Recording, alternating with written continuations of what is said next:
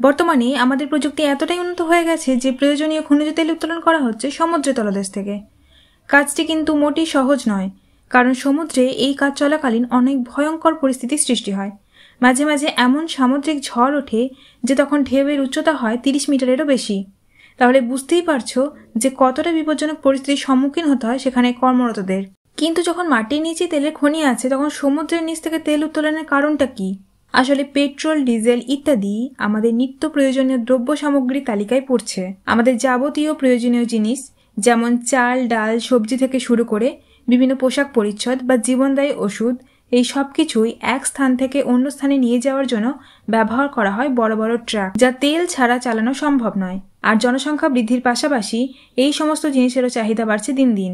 তাই তেলের চাহিদাও বাড়ছে। আবার আমাদের আশেপাশে চার চাকা বা দু চাকার সংখ্যাও অনেক বেড়ে গেছে। খনিজ তেলের চাহিদা বাড়লেও সাপ্লাই কিন্তু কমে যাচ্ছে। আমরা এখন যে হারে তেল উত্তোলন করছি আর ব্যবহার করছি, বিশেষজ্ঞদের মতে হয়তো আগামী চারশো বছরের মধ্যেই মাটির নিচের খনিজ তেল ফুরিয়ে যাবে। সম্প্রতি প্রকাশিত একটি রিপোর্টে বলা হচ্ছে, কয়েকটি দেশের নাম যেখান থেকে তেল উত্তোলন করা হতো, কিন্তু সেই সব দেশে তেল তোলার একদম এন্ড পয়েন্টে পৌঁছে গেছে।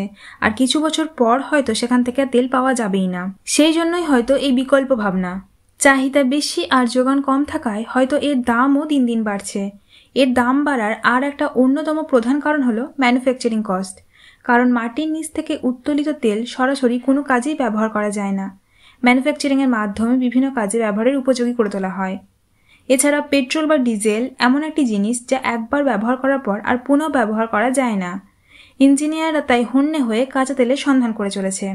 সমুদ্রের তলদেশ থেকে তেল উত্তোলনের যে পদ্ধতি তা ব্যয়বহুল।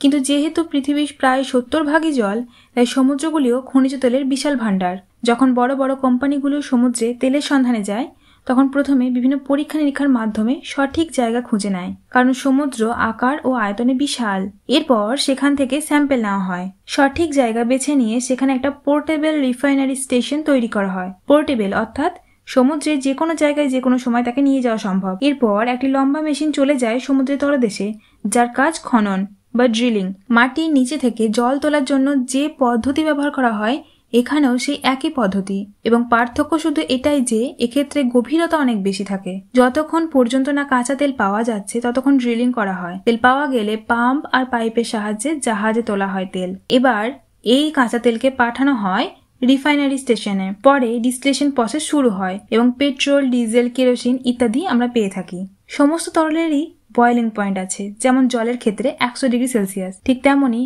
কাঁচা তেলকে বিভিন্ন উষ্ণতায় উত্তপ্ত করে পেট্রোল, ডিজেল, কেরোসিন, ন্যাপথা ইত্যাদি পাওয়া যায়। এছাড়াও মোম, প্যারাফিন, গ্লিসারিন ইত্যাদিও পেয়ে থাকি। সমুদ্রের এই তেল তোলার ক্ষেত্রে দু রকমের টিম আছে যারা কাজ করে থাকে। প্রথমত অনসোর আর অফশোর। অনসোর যারা সমুদ্রের কিনারায় কাজ করে আর অফশোর যারা সমুদ্রের জলের উপরে কাজ করে, অর্থাৎ সমুদ্রে ভাসমান অবস্থায় কাজ করে থাকে এবং এদের জীবন সব সময় ঝুঁকিপূর্ণ।